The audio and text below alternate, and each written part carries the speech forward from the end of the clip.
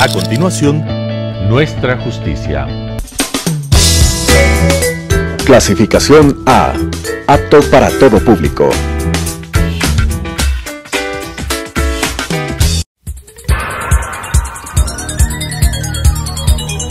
Las opiniones vertidas en este espacio por la producción y dirección del programa son de exclusiva responsabilidad de sus autores y de quienes intervienen en ellos. Telesucesos Canal 29 UHF presenta Nuestra Justicia, un programa de opinión y controversia. Buenas noches ciudadanía, agradezco su atención para tratar nuevamente nuestra justicia los temas que atañen a la función judicial. Nuevamente nos acompaña ahora una de las opiniones más versadas eh, en la materia como es la del doctor Javier Palacios. Javier, quien conduce este programa, con quien habla, pues eh, nos va a dar una visión de lo que está ocurriendo en los actuales momentos en todo este proceso, en especial de eh, la selección de jueces y el Consejo de la Judicatura como tal, funciones y la nueva terna que se ha enviado por parte de las diversas instituciones para la reorganización o reestructuración de este eh, Consejo de la Judicatura. Javier, buenos días. ¿Cómo está? Buenas noches, Germánico. Todo muy bien. Muchas gracias por la invitación. Deme su opinión de cómo están las ternas que se conocen para efectos de eh, la selección de los nuevos miembros del Consejo de la Judicatura. A ver, al día de hoy lo que tenemos es el envío de las ternas para más que los nuevos vocales, aquellos que reemplazarían el periodo que resta de los titulares y Es decir, solamente sería por seis meses. Es decir, sí, efectivamente, solo este, este corto tiempo en el que se han enviado las ternas quizás la terna más importante, más allá del, de la asamblea o de las otras funciones, es la terna de reemplazo al presidente del Consejo de la Judicatura, que será para estos seis meses que, le restan dentro del periodo. Esta terna eh, al día de hoy todavía no se conoce en el Consejo de Participación Ciudadana si ya iniciará o no el proceso de selección el único movimiento que ha existido es que el doctor Landívar, que era uno de los postulantes o uno de los enviados en esta terna, renunció a su postulación y se nombró a un, a un nuevo designado por parte de la presidencia de la Corte Nacional de Justicia. Es decir, ¿le van a reemplazar al doctor Román? En efecto, el doctor Román, eh, a propósito de esta terna, debería salir y quedaría como vocal suplente y únicamente el titular por el tiempo que le restaría en el Consejo de la Judicatura. Esto sin duda alguna tendrá incidencia en temas importantes en la judicatura como son la designación de los nuevos jueces y juezas de la Corte Nacional de Justicia. ¿No se van a llegar a designar? Veo, por parte de este, de este consejo? Parecería que no, creo que es un proceso que se ha dilatado bastante. El día de hoy recién se posicionaron el comité de expertos, que esto fue eh, el día de ayer, si no estoy mal, que el comité de expertos formalmente se posicionó, el comité de expertos que ayudará en la evaluación para designar a los jueces, a los nuevos jueces y juezas de la Corte Nacional de Justicia, pero en el interín tenemos este cambio de presidencia del Consejo de la Judicatura, que es un hecho inevitable porque la terna está. Y si aquello ocurre, sin duda alguna vendrá un freno a la designación de los jueces, porque habrá nuevo presidente, nuevos equipos técnicos, etc. Si sigue la farsa, sigue la burla de ciudadanía. Y yo quería hacer un comentario especial respecto a este proceso. El día de ayer, a través del correo electrónico, a varios abogados, según he conversado, nos ha llegado una invitación para formar parte del Comité de Expertos para Selección de Jueces en este concurso para la Corte Nacional. Pero lo curioso del tema es que el correo llega a la plataforma o a la bandeja de los abogados como a las nueve y media de la mañana. Y en la cuenta X a las 11, concretamente del doctor Ramiro García, se sube él una foto en la que ya constan todos los expertos que han sido designados para tal propósito. Entonces hice una observación en la cuenta X, indicando que ¿qué fue? ¿Se trató de un error o de una tomadura del pelo? ¿Es que ya tienen todo listo? ¿Es que ya está todo, como se dice vulgarmente, amarrado? ¿O simplemente fue una equivocación? ¿Qué le parece, Javier? Creo que es llamativo, eh, más allá de que, digamos, supongamos que fue una equivocación, pero mandar el mismo día, horas antes, cuando ya la invitación seguramente era de posesión para los que ya estaban designados, me parece que es una burla al sistema de justicia y demuestra la poca seriedad con la que se está tomando la designación de los nuevos jueces y juezas de la Corte Nacional de Justicia. Y creo que en esto no es no, no, no es que el concurso es mejor o la designación es mejor por cuántas fotos saco de del proceso que estoy llevando, sino por la seriedad que tiene el proceso.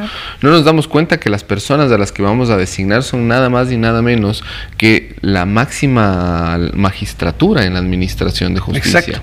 Y que ya hemos visto en administraciones pasadas que jueces están el día de hoy todavía no procesados, pero al menos sí nombrados en los denominados casos metástasis, purga, y de hecho un ex magistrado de la Corte Nacional y ex presidente de la del Consejo de la Judicatura está detenido por estos casos. Pero parecería que seguimos con el afán de tomar esto, perdónenme la expresión, de manera deportiva y no con la seriedad del caso. Sí, es lastimoso porque en realidad esperaríamos nosotros un cambio. Todos cuando se anunció que el doctor Román presidiría el Consejo, creo que abrigamos una esperanza de que iba a haber un cambio. Como dice el doctor Palacios, iba a haber seriedad en los procesos. Pero Javier, ¿qué denota todo esto? Es decir, que o es que se pelean adentelladas los puestos de jueces y ya tienen también los seleccionadores para aquellos, o en su defecto, es que tenemos solamente un grupo de amigos y entre nosotros tenemos que controlar el sistema de justicia.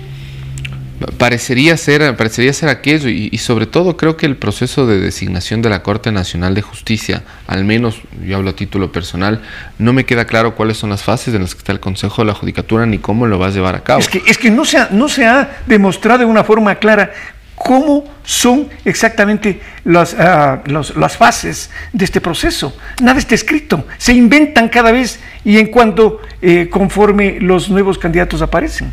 En efecto, y, sobre todo es un concurso que Recordemos que el doctor Román, la doctora Goyes, el doctor Benavides y la doctora Yupanqui ya van algún tiempo dentro del Consejo de la Judicatura y supuestamente en estos meses tenía que haberse acelerado y resulta que formalmente el concurso, más allá de las postulaciones y calificaciones iniciales a las carpetas de los postulantes, no existe mayor avance dentro del, concurso.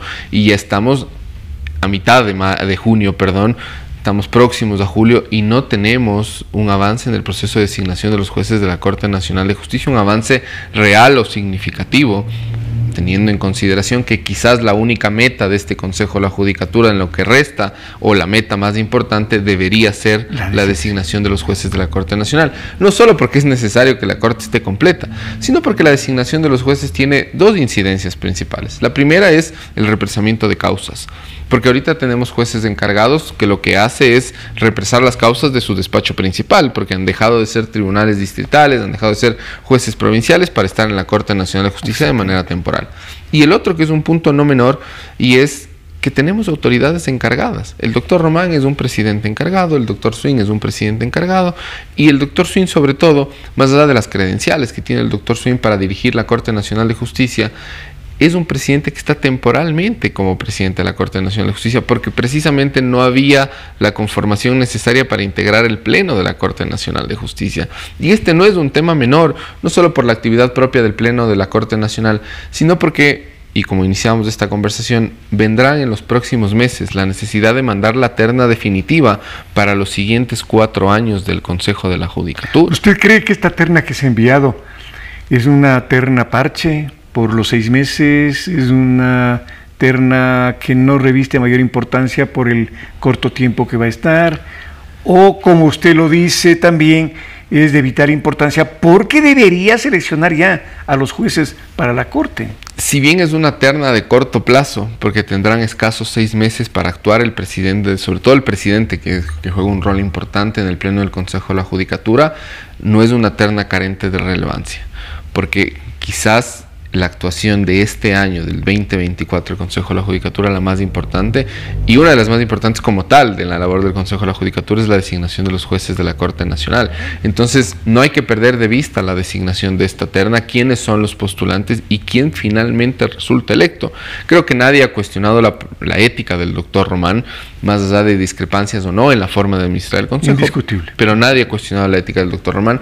Creo que de los tres postulantes que vienen hay que estar muy atentos a estos perfiles, porque, insisto, será el nuevo presidente que esté a su mano la batuta, el camino para designar a los jueces de la Corte Nacional de Justicia y adicionalmente al concurso masivo que se ha anunciado para designar a jueces y jueces de primer y segundo nivel. Escuchaba anoche que la terna está ya en consideración del Consejo de Participación Ciudadana y Control Social, que ojalá no haga de esta selección otra, eh, otro fraude, otra payasada, porque hay que llamarlo así, como en, eh, la designación del defensor, en donde para llegar al, amigo tuvieron que descalificar a ni sé cuántos que habían obtenido las mejores calificaciones. Ahora veo que en esta terna se ha enviado por parte del presidente de la Corte Nacional al doctor eh, Telmo Molina. Telmo Molina que ha estado aquí en algunas ocasiones y que yo considero que es una persona importante, una persona destacada, una persona que ha innovado el sistema, una persona que tiene a su haber eh, fallos que no han sido cuestionados ni han sido observados por los superiores, pero a quién le tratan de tachar su actuación, porque su cónyuge, la doctora Matamoros, había eh, resuelto, había dictado un fallo en una querella deducida por el ex contador, eh, contralor Carlos Polit en contra de eh, los miembros de la Comisión, Comisión Anticorrupción. Anticorrupción. Y me preocupé, Javier, de estudiar cuál es el proceso que la doctora eh, había resuelto. Pero resulta que no se trata sino de la ejecución, de la ejecución de un fallo, a su vez, dictado por otro juez en contra de la Corte Constitucional, que había calificado de alguna acción deducida por ellos de maliciosa y temeraria. Es decir, no le, no le quedaba a la doctora Matamoros sino la ejecución de ese fallo. No existía otro camino para ella. No podía renunciar o decir, yo no quiero ver esta causa, sino que tenía que cumplir con esa función. Más allá de que le pretendan descalificar al doctor Molina por este tema, que no es personal, que no debería afectarle, eh, sí hace que se ponga o se empiece a sembrar ciertas dudas respecto de su eh, calificación adecuada para esta designación. Y repito, yo creo que si empezamos a enfocarnos así por los defectos de los familiares, estamos realmente complicados. Molina creo yo que podría ser una muy buena figura para presidir el Consejo, porque para eso hay que conocer cómo marcha la justicia. No puede ponerse de presidente del Consejo, como ya se hizo hace tiempos, a un ingeniero en, en computación, no, y también, o a un mediador, porque eso era el doctor Yalc, no era más que eso, nunca más, nunca antes había ejercitado funciones en el Consejo de la Judicatura. Cierto es que más tarde, yo creo, hizo una labor importante, más allá de todos los defectos, pero para ser presidente del Consejo de la Judicatura se tiene que conocer y tener experiencia en la función judicial. Sin duda alguna, y creo que la, la, la, el nombre del doctor Telmo Molina sí sale a relucir porque creo que es un juez disruptivo, un juez que cambió a raíz de la pandemia. Creo que todos, al menos los que estamos involucrados con el sistema judicial, veíamos que era un juez activo, que trataba de mejorar sobre todo la capacidad de transmitir de manera pública sus decisiones y actuaciones dentro de la judicatura e inclusive era un juez crítico del sistema, uh -huh. un juez valiente que creo que es de los que hacen falta en el país, uh -huh. de ellos que no fallaban ni a favor ni en contra del Consejo de la Judicatura por presiones del organismo, inclusive hacía públicas sus críticas en su cuenta ahora de la red social X. Creo que tampoco es justo endilgarle al doctor Molina actuaciones de familiares o de terceros, sean o no sean correctas claro. para la opinión pública. Claro.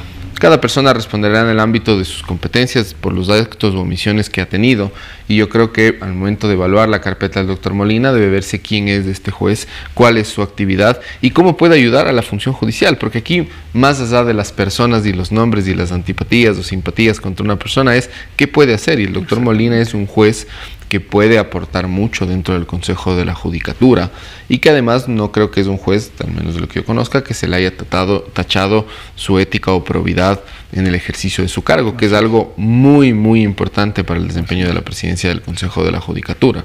Y es alguien que además ha impulsado, por ejemplo, lo que hoy conocemos como expediente electrónico o, la especie de expediente electrónico que tenemos. Es alguien que ha sido muy crítico y que puede modernizar. Y sobre todo creo que sí hay, hay un punto importante en esto y es no debemos perder de vista que en la designación de los nuevos jueces de la Corte Nacional, por ejemplo, se debe valorar a los jueces de carrera. Porque si no, estamos trayendo que, no está mal que la academia se involucre dentro de la administración de justicia, pero la carrera judicial no es solo académica, no está solo en los libros de las bibliotecas, está dentro de la carrera jurisdiccional. Se necesita alguien con experiencia en esto, porque si no nos llenaríamos de académicos dentro de la Corte Nacional de Justicia y no es lo mismo y que es valuable, sobre todo la, actividad académica, pero también se necesita mucho de la práctica. Y es por eso, no es de loco que el legislador dijo que se debe privilegiar la carrera judicial. Carrera judicial que no existe, Javier. Que no existe. existe. Y, precisamente no existe porque cada que se llega a una nueva conformación del Consejo de la Judicatura, sobre todo para designar a los magistrados de la Corte Nacional de Justicia, y ahora he visto que inclusive para los jueces de primer y segundo nivel, se buscan carpetas tales como PhD, haber dado clases, conferencias, que sí, son, requisitos importantes. Claro. Pero también dejamos de lado cuál es la formación judicial. La expertise. La expertise judicial. De hecho, hay casas de estudios en el Ecuador, pocas, pero hay, que están promulgando las maestrías en Derecho Judicial, porque no es lo mismo ser juez que ser docente o que ser abogado en libre ejercicio. Hay una distinción sustancial. Y es que es verdad, porque en alguna ocasión nos ha correspondido ser con juez de las Cortes. Y nada más complejo para quien está en el ejercicio profesional, no digo en la academia, que solamente podríamos decir nos centramos en la investigación, en la práctica profesional, ser juez es muy complejo. Es decir, se va a aprender a ser juez con el tiempo. ¿Cómo? Siendo un amanuense primero, luego juez de primer nivel, y así ascendiendo conforme la Constitución lo exige, pero que no se cumple. Y no se cumple precisamente porque los primeros llamados a, observar, eh, y son los que incumplen, son los del Consejo de la Judicatura. Ese departamento de talento humano, ¿qué función tiene si no valora lo que genera la escuela judicial, lo que genera la expertise eh, de cada uno de los operarios y jueces de la función judicial. Sin duda alguna, por ejemplo, el Consejo de la Judicatura, y he sido siempre un crítico de esto, la Escuela de la Función Judicial no está para difundir las sentencias de la Corte pues, Constitucional. exactamente. La Corte Constitucional difunde por sus propios medios. La Escuela de la Función Judicial debe formar jueces, pero debe empezar a formar, como usted bien decía, desde el amanuense, el ayudante, el secretario, etcétera pero ese rol de la Escuela de la Función Judicial debe ser potenciado. De hecho, la Escuela de la Función Judicial debería ser el primer organismo interesado en que las distintas casas de estudios de educación superior promuevan maestrías en Derecho Judicial. Exactamente. Para poder formar adecuadamente a sus jueces. Porque hay un tema importante también. El juez tiene un fuerte componente psicológico. Porque el juez debería o debe abstraerse de sus emociones para fallar en una determinada causa. Pero eso no le pasa al abogado en libre ejercicio, porque el abogado en libre ejercicio por esencia es subjetivo a su cliente, porque tiene que defender. Entonces, cambiar ese chip requiere de una formación psicológica del juez, de una preparación del juez, que algunos los ganan con los años, con las canas que tantas faltas hacen a veces en la administración de justicia, y otros lo ganan con una formación académica. Pero para eso está la Escuela de la Función Judicial. Porque si no, vamos a llenarnos de académicos, que insisto, no está mal que la academia se involucre. Pero ¿cuánto tiempo van a aprender ellos a ser jueces? Exactamente, y la curva de aprendizaje de un académico para ser juez es distinto, porque además del académico va a velar por el deber ser, que está muy bien. Pero una cosa es el deber ser y otra cosa son, como diríamos, las tablas procesales, lo que existe. La verdad procesal. Exactamente, la verdad procesal que además del académico intentará innovar en teorías, que está muy bien que se vayan adaptando, pero existen ciertas reglas, existen ciertas posiciones dentro de la Administración de Justicia que deben irse respetando porque si no, simple y sencillamente los códigos judiciales pasarán a un segundo plano y viviremos en una constante inseguridad jurídica. Exactamente, más allá de la que vivimos. Porque, ¿qué cambios se han visto en la función judicial con este Consejo de la Judicatura? Yo soy un crítico permanente de esto y tengo que con dolor decir, hemos retrocedido, Javier. No existe cambios, no existe una condición o algo que uno pueda expresar con propiedad y decir, cambió el sistema de los expedientes electrónicos, por ejemplo. Ha cambiado el sistema eh, para controlar a los jueces de estos que dictan fallos, sobre todo en materia constitucional, eh, como entienda, de esquina ha cambiado eh, la forma en la que los jueces tienen que dictar los fallos, dejándose de copiar uno a otro estos para hacer verdaderas producciones de cada juez. No ha cambiado nada. no hay un control cualitativo del sistema de justicia. Eh, más allá de que se solazan cada dos meses y se sancionaron a tres jueces, se destituyeron a otros tantos, pero la justicia sigue igual. La justicia sigue igual, no hemos visto una variación. Creo que en, el tema humano es impensable que hayamos o sigamos con el mismo número de jueces que en el año 2018 para empezar, que eso debe haber sido una prioridad de varios consejos de la judicatura que han transcurrido en todo este tiempo.